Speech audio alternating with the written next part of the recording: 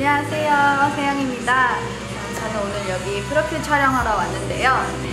어떻게 했는지 모르겠는데 시간이 훌딱 갔네요. 네, 팬분들 금방 사진 나와서 보여드릴 수 있을 것 같으니까 조금만 기대해 주시, 아, 조금만 기다려 주시고요.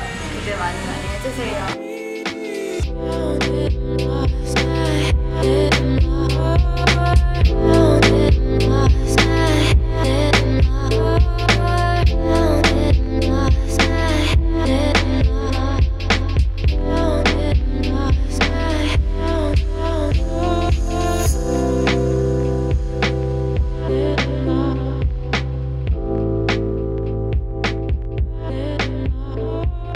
저는 아무래도 마지막에 입은 게 조금 화사하니 이렇게 봄 같은 느낌으로 예쁘지 않았나라는 생각을 하고 있습니다.